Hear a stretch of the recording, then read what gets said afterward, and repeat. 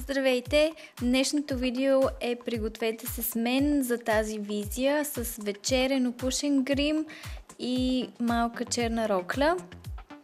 Така се приготвих аз за нова година. Ако искате да видите как, останете с мен.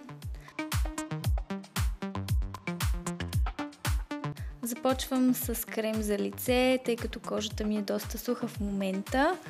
Смесвам тези, а, този BB крем с малко ам, фандютен, който просто е в малко по-тъмен цвят, за да пасне цвета на кожата ми.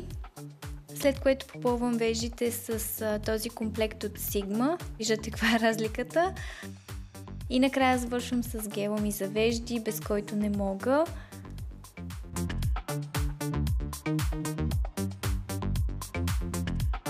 Нанасям основа за сенки, както винаги ползваме най-съща тази на MAC, която просто е в телесен цвят. Можете да ползвате коректор вместо това или всеки друг цвят основа.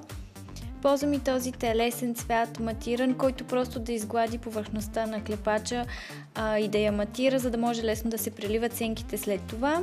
Използвам и този телесен цвят в сгъвката на който, който да помогне след това останалите цветове да се прелеят по-лесно. И сега от друга палитра ще използвам този матиран винено-лилав цвят, който ще пренеса отдолу под окото, както и на горния клепач, само във външния ъгъл.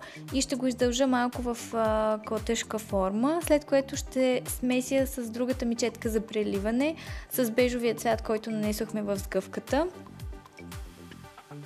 след което за външния ъгъл на окото ще използвам този цвят, който е практически същия цвят като този винения, който вече нанесохме, само че има съвсем леко сияние и перлен блясък.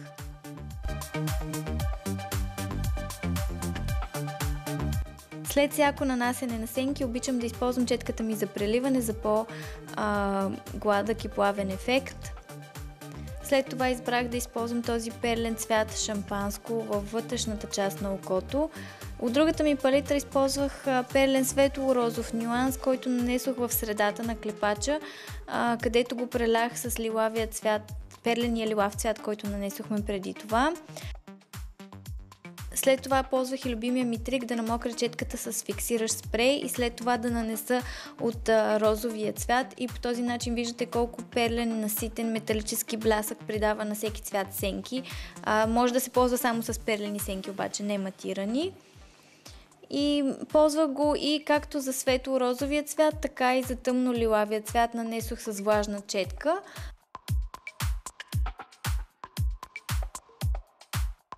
Във вътрешния ъгъл, за да просветля окото, нанесох от този перлен бял цвят, заедно смесен с а, този, който ползвах и преди това.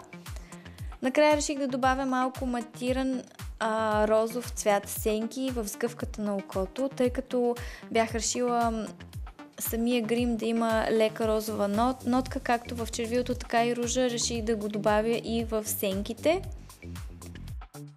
Тъй като това е вечерен грим, избрах да използвам и малко черни сенки под окото, тъй като след това ще използвам и черен молив, за да го очертая и по този начин изглежда по-плавно и по-прелато.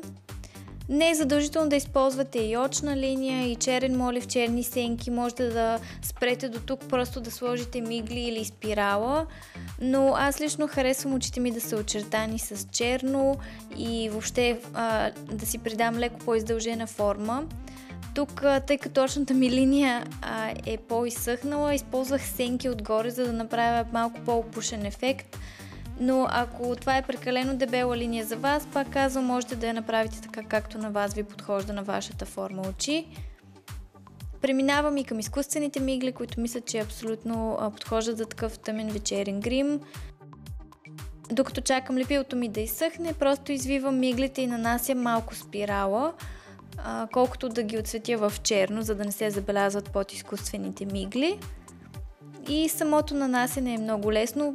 Помнете преди това само да премерите миглите дали съвпадат с вашата дължина на окото и да отрежете част от тях, ако това е необходимо. След като изчакате лепилото да стане лепкаво, просто поставете миглите колкото се може по-близо до вашите естествени мигли. И това е. Наистина не е трудно. изисква малко практика и ще видите, че става лесно. След което почиствам под окото, ако има паднали сенки и нанасям коректора ми. Използвам Beauty Blender, както за фондютена, така и за коректора. Използвам и пудра, за да матирам кожата, за да може да се преливат и пудрите след това, като бронзиращата пудра, руш и така нататък. Реших да направя малко по-силен контур за този грим тъй като все пак е вечерен грим, а и просто така бях решила.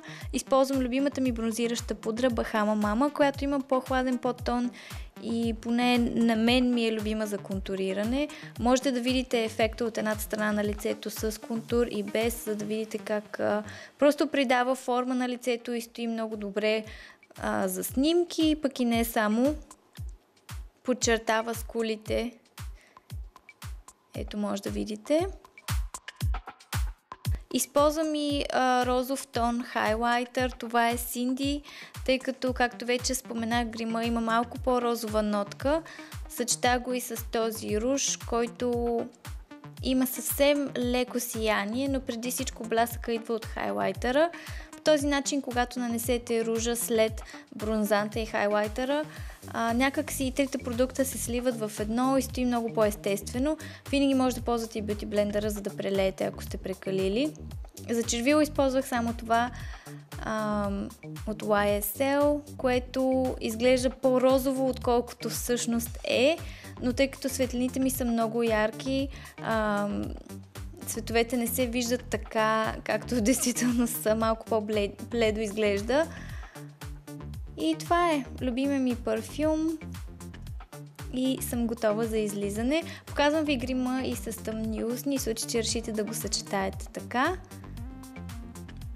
Ето това е грима ми а, на нормална светлина, за да видите как изглежда.